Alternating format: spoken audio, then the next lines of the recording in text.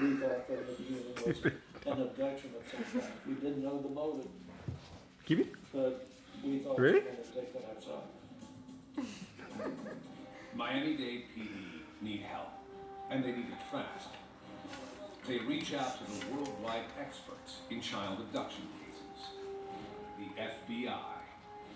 They alone have the resources and investigative manpower to bring Jimmy home.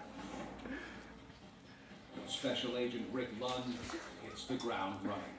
It's crucial to attempt to locate the child within a 24 to 48 hour time frame because um, in previous cases, that has been Okay, here you go. You ready? the most likely uh, timeframe that the child will be in. And so if we can identify or locate the child, uh, it's better odds that we will recover the child.